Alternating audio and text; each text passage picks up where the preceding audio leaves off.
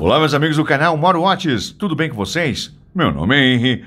Olha o belíssimo Cássio que eu estou trazendo aqui no canal Moro Watches. Sim, é um Cássio DBC 32D 1A. A distribuição é DF. Olha só que lindo esse relógio, meus amigos. Ele é um relógio icônico, né? Ele é um relógio de época, pode-se dizer até vintage. Se eu gosto desse modelo, claro que eu gosto.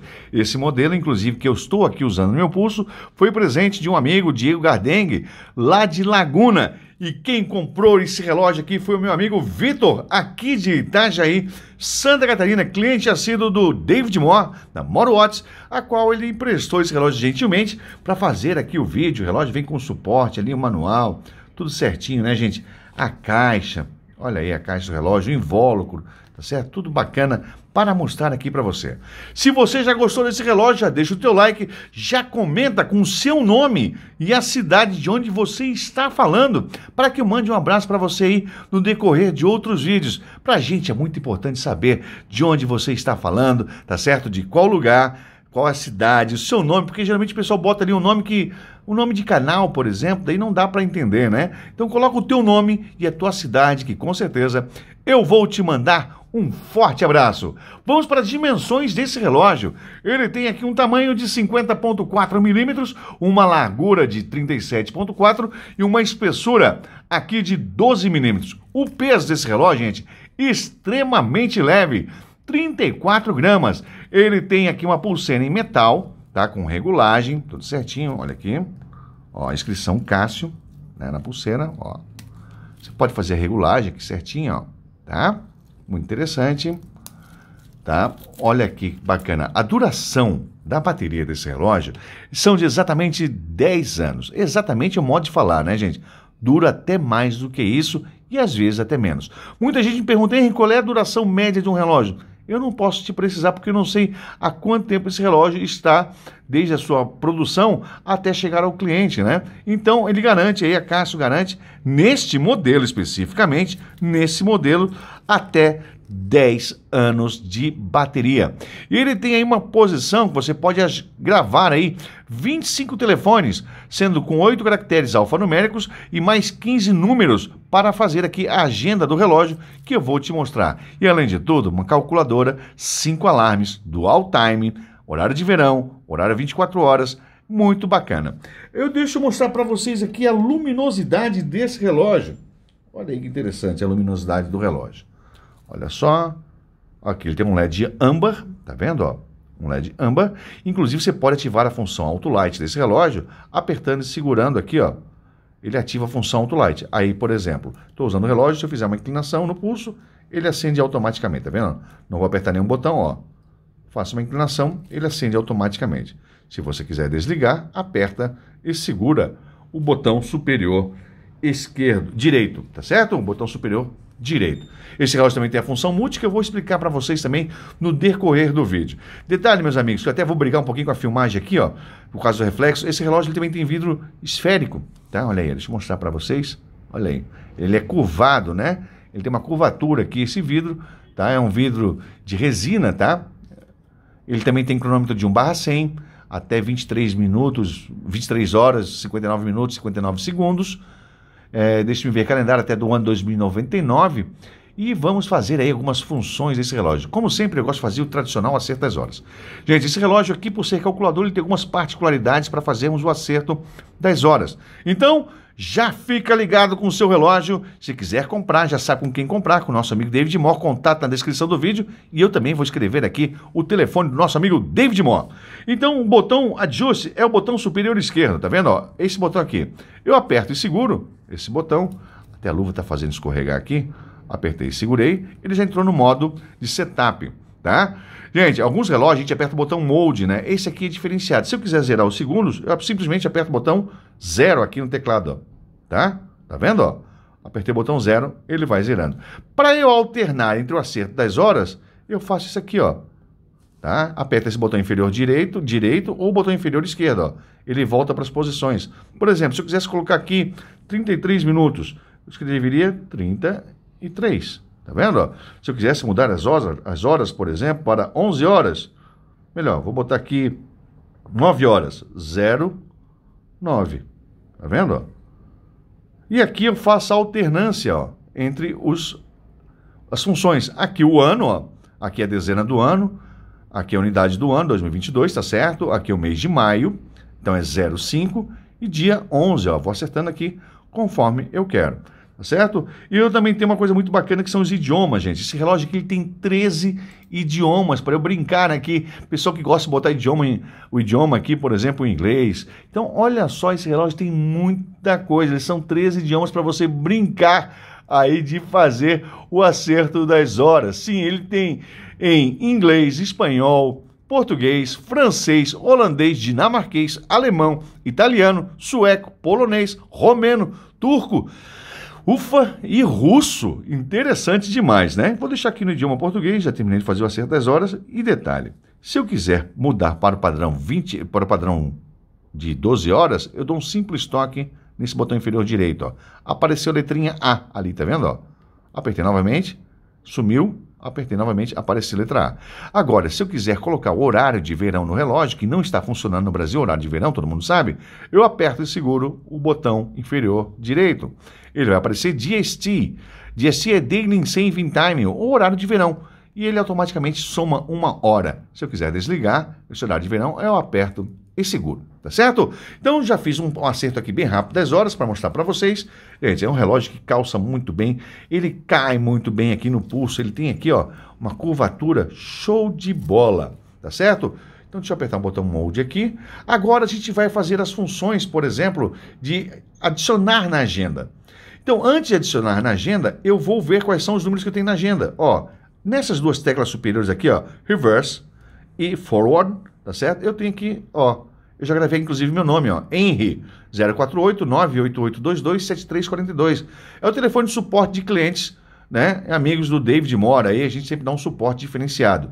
E aqui o telefone da alegria, David Moore, 9 048, né? 99679 1469.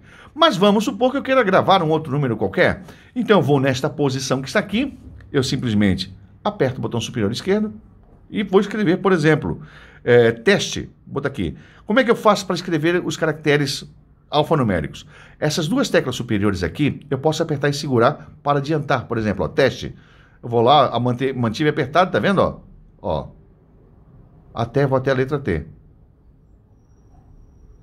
S, T. Ó. Se eu errar, eu posso voltar aqui também, ó. Tá certo? Ó. Se eu errar, eu posso voltar. Agora, se eu quiser mudar a próxima posição, ó, tecla da direita vai para a direita, tecla inferior da esquerda vai para a esquerda. Então, aqui, ó, vou para a letra E agora, ó. Ó, teste, vou voltar aqui, um que eu errei. Um aqui, ó, teste, passei, errei de novo. Agora, se eu quiser mudar para o próximo caractere, aperto o botão inferior e aperto o botão, esse botão superior aqui, ó. ó. Apertei, segurei, Ó, quando estiver próximo, eu solto. E depois vou no ajuste fino. Ó, teste, tá certo? Eu poderia escrever a palavra teste todinha, mas não vou fazer para o, o, vídeo não ficar muito demorado. E agora, se eu quiser para os caracteres numéricos, como é que eu faço, Henry? Muito simples. Eu simplesmente, opa, ó, errei de novo aqui, eu volto, eu vou mudar, ó, eu vou mudar aqui embaixo. Ó, ele tem oito posições aqui em cima, então que seria a quarta posição, quinta, sexta, sétima, oitava. Aqui, ó. Agora vem para o número de baixo. Tá certo? Então, vou botar aqui, por exemplo. Agora, para escrever os números é fácil. Eu vou direto no, no teclado aqui, numérico, ó. 0, 11, por exemplo, 555, 12, ó, 12, 13. Certo? Tá aí, ó. Tá? E gravo. Para gravar, eu simplesmente dou um toque no ajuste. Tá vendo? Mas vamos supor que agora eu quero conferir minha agenda. Ó, eu tenho o meu telefone, o telefone do David Moore e o telefone que eu acabei de colocar. Ah, mas esse telefone aqui eu quero apagar. Aperta ajuste, deixa ele piscando e aperta as duas teclas inferiores aqui, ó. Tá vendo? Ó, e aperta simultaneamente. Clear, apagou. E depois aperta ajuste. Aí ele apaga, ó. Tá vendo? Ele apagou, ele não tem mais essas, esses, esses usuários aqui que eu acabei de apagar, por exemplo, tá vendo? Ó? Se eu quiser apagar, por exemplo, meu telefone aqui, é muito simples. Eu aperto, seguro, ó, entrou no modo de ajuste, aperta as duas teclas inferiores, aperta seguro, já deu clear. Aí depois aperta ajuste novamente, pronto, já não tem mais meu telefone. Vou deixar o telefone da alegria dos compradores de relógios, Cássio, entre outras marcas. 048 99679 1469. Telefone WhatsApp do nosso amigo David Moore, que está aqui gravado já no nosso amigo do relógio, nosso amigo eh, comprou o relógio, nosso amigo Vitor. Tá certo? Então agora eu vou para outras funções do relógio. Vamos lá comigo rapidamente. Aqui já passei pelas funções, né? Da agenda de até 25 posições. Modo calculadora. Essa calculadora aqui, gente, ela tem modo aritmético simples e também modo de conversão. Lembrando que essa calculadora está no modo silencioso. Se eu quiser ativar o modo de bip, eu também posso fazer. Ó, aperto e seguro esse botão inferior direito. Ó, agora está ativo o bip do, já está apagado ali, né? Esse, esse modo que ele entrou aqui agora, gente, é um modo Exchange, que é o modo conversão. Já vou explicar para vocês. Antes vamos fazer alguns cálculos básicos, né? Vamos ver aqui, ó, aqui na parte superior do teclado nós temos divisão, multiplicação, subtração e soma. Aqui o ponto, né, para fazer casas decimais, e aqui decimais, centesimais, você que sabe aí. E aqui também o nosso sinal de igual. Vamos supor, então, vamos fazer 12 mais, aqui ó, sinal de mais, 12 mais 5, igual. Pronto, 17, tá certo? Agora, se eu quiser resetar, aperto o botão aqui inferior direito, tá certo? Agora vamos fazer 15 dividido Olha aqui, ó. Por 3. Pronto, igual. Cálculos simples, não é verdade? Agora ele também faz cálculos decimais. Você também tem várias, várias coisas para fazer aqui a sua cálculo decimal. Detalhe que quando está no modo calculadora, ele também está mostrando aqui um modo hora. São cálculos que eu estou mostrando para vocês. Esse foi um cálculo básico, tá certo? Agora eu vou zerar e eu vou fazer um cálculo com constante. O que, que é uma variável? O que, que é uma constante? Não é variável, é uma constante. Vamos supor que eu vou dizer que o número 5 é uma constante. Daí eu vou botar 5, por exemplo. 5, para fazer soma, por exemplo, 5, uma constante. Constante eu vou apertar duas vezes o sinal de mais. Ó, mais, mais, ele aparece a letra K. Agora eu vou botar aqui, por exemplo, 2. 5 mais 2, 7. Dou igual. Agora, eu não preciso escrever mais 5 novamente, porque eu já disse que 5 é minha constante. Então eu aperto mais uma vez, ele vai para 12, mais 5 é a constante é 17 e assim sucessivamente. Do mesmo jeito que eu posso fazer com a soma, eu também posso fazer com a subtração, com a divisão e com a multiplicação. Certo, gente? Entendido? Olha aí, estou fazendo aqui. E se quiser apagar, apaguei aqui, só apertando esse botão aqui, clear, tá certo? Outra coisa muito interessante desse relógio é que se eu apertar e segurar esse botão aqui, ó, ele vai para o modo conversão. Por exemplo, eu não sei quanto é que está o preço do dólar hoje, tá? Mas eu vou supor que eu quero, eu quero colocar aqui o preço do dólar. Então, eu vou dizer que o preço do dólar, hoje, uma taxa de conversão, o dólar está custando R$ 5,10. Eu coloco 5,10 centavos. Ó, e dou OK, tá certo? Aperto aqui de novo. Pronto. A partir de agora, eu sei que a minha taxa de conversão é R$ 5,10, que é o valor de um dólar. Eu estou fazendo aqui que o dólar podia ser qualquer, qualquer coisa, tá, gente? Então eu quero saber quanto é que custa 50 dólares. Eu aperto 50 e dou igual. 255 dólares. 255 reais, tá certo? Eu estou fazendo conversões. Agora, por exemplo, eu quero fazer aí. Quanto é que custa 127 dólares e 30 centavos? Ó, perceba que eu coloquei o ponto ali depois do 7. E dou um igual aqui custa R$ 649,23, tá certo? Então, gente, quando você está fazendo esses cálculos aqui, significa que você está já indexou aqui no relógio uma unidade de conversão. Então, para mudar essa unidade de conversão, você também pode apertar o botão de ajuste ali, quando tiver essa função, e colocar, por exemplo, para o dólar baixou para R$ 4,20. Já pensou? Né? Eu não sei quanto é que está o preço do dólar. Aperta aqui ajuste. Agora vamos supor quanto é que custa 100 dólares. 100 dólares. 420 reais. Tá certo? Então você pode fazer ali a sua taxa de conversão, que é muito bacana. Tá certo? Então já te mostrei como é que faz o cálculo com uma constante e o cálculo de conversão. Tá certo? E também, se você quiser, meu amigo, vai estar aqui no manual, no, na descrição do vídeo, o link certinho como você faz os cálculos tá certo? Inclusive com exponenciais. Eu não vou fazer muitos cálculos aqui para não ficar delongando o vídeo que tem mais funções para mostrarmos.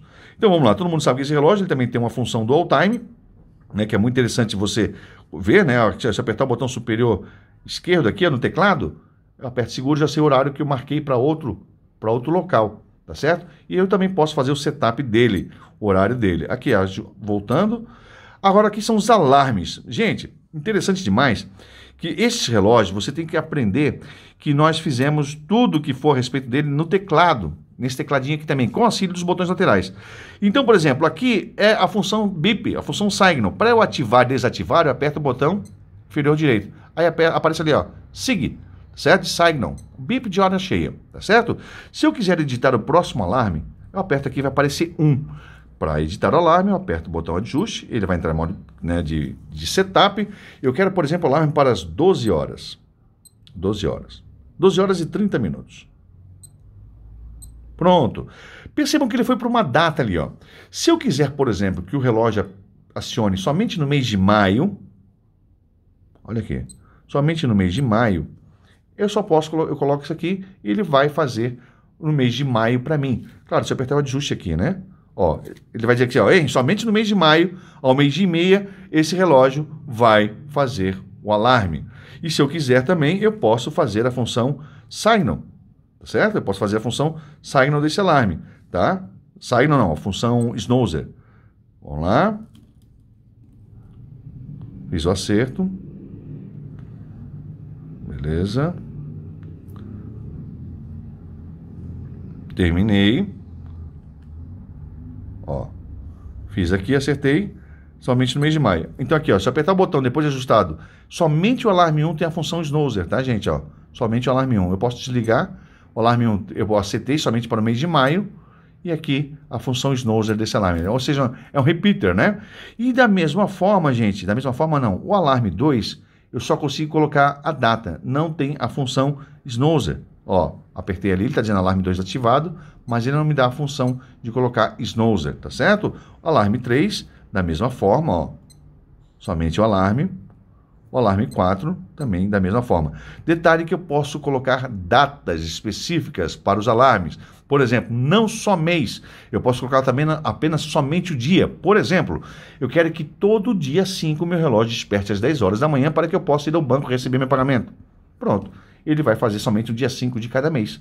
Você coloca 5 aqui e deixa o mês com os dois tracinhos que ele vai fazer. Ou, por exemplo, no aniversário do seu de casamento, o homem geralmente esquece, né, gente? Coloca lá, por exemplo, 10 de maio, né, mês, se casou no dia 10 de maio, coloca lá somente dia 10 de maio um alarme específico por ano para fazer aí, para você não esquecer de comprar flores, levar a esposa para jantar fora, fazer aquela média, não é verdade? Então, já te expliquei como é que funcionam os alarmes desse relógio aqui. Agora vamos para outras funções. Calculador, já te expliquei também, alarme, te expliquei. Aqui é a função stopwatch, que é a função cronômetro. Então eu dou start aqui no botão inferior direito, dou stop, start, aqui eu faço a tomada de tempo, ó. Ó, o split. Se, ó, perceba que o alarme, que o alarme, que o cronômetro, aliás, está funcionando ainda. Se eu quiser ver o tempo que eu estou, tá aqui, ó. Ó, aqui ele trava para você anotar na prancheta ali, ó. E se eu quiser dar um stop, posso deixar correndo aqui, dar um stop, e depois eu faço a leitura. Tá certo? Agora, a próxima função do relógio, perceba que cada função que eu uso, ele volta para o modo hora. Olha que bacana. Ó, stopwatch. E aqui é a função do all time. A função do all time eu também posso arrumar. Por exemplo, aquela que eu. Agora são 9 horas são 10 horas e 34 minutos. Eu quero botar o horário de GMT, por exemplo, mais 3 horas. 13 horas. Ah, Henry, mas o horário de, de o GMT não é menos 3 horas. Não, GMT é o menos horário que você está. Mas ele está a mais 3 horas de você, né? Então, 10 horas e 34 minutos. Bacana para acertar a hora desse relógio, né, gente? Pronto, aí, ó. E aqui ele mantém o seu horário local, tá certo? Eu vou fazer agora aqui, tá certo, o horário não está certo, vou acertar de novo o horário do relógio. Ó, agora vou acertar o horário do relógio novamente. Apertar aqui. São exatamente 10 horas e 35 minutos. Aqui eu sempre vou variando, ó. Onde eu quero fazer o ajuste do relógio. Ó, 10 horas. 10 horas. 35 minutos. Pronto. E aqui você já fez o acerto das suas horas bem certinho, tá certo? Terminou aqui o acerto, pronto. Bacana demais esse modelo. Tem outros testes também que eu gosto de fazer com esse relógio aqui, gente, que é o teste de verificação de, de, de originalidade, né? Ó, tá vendo esses três botões aqui? Ó, ele tem quatro botões laterais, mas se preocupe com ajuste, eu aperto seguro e depois os dois aqui de baixo. Ele entra nesse modo teste aqui, ó. Tá vendo, ó? Então aqui eu vejo que tudo está correto no relógio. Aqui também, fazendo os testes. Aqui um teste do número do módulo, tá vendo? Geralmente esse relógio, alguns deles, né, tem aqui bate o número, outros não batem porque tem outros tipos de atualização de firmware e de flash também, que a gente chama, né, que é a gravação de módulo. Então, meu amigo, você gostou desse modelo aqui? Já deixa um like pra gente, já deixa um comentário, eu vou repetir, já deixa um comentário com o teu nome, a tua cidade, para que eu mande um abraço para você. Ah, não se esqueça, é claro, de se inscrever aqui no canal Moro Watts, assistir esse próximo vídeo, porque na Moro Watts é assim, onde a estrela do canal é o relógio. Forte abraço!